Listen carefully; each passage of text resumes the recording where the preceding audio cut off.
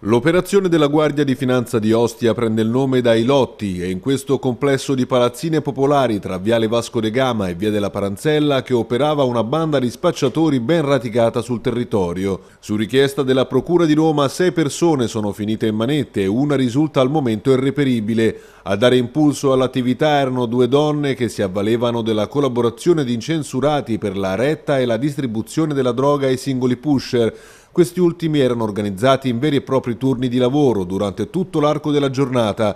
Le intercettazioni telefoniche e i pedinamenti hanno consentito di accertare che utilizzavano sempre la stessa utenza telefonica per ricevere gli ordini e concordare la consegna dello stupefacente.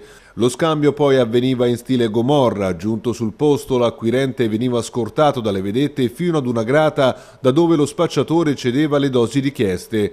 Operazioni rapide e poco rischiose che permettevano alla banda di smerciare almeno 3 kg di droga al mese. Le indagini hanno preso il via agli inizi del 2015 ed hanno consentito di sequestrare complessivamente 4 kg di cocaina e diversi quantitativi di hashish, marijuana e crack.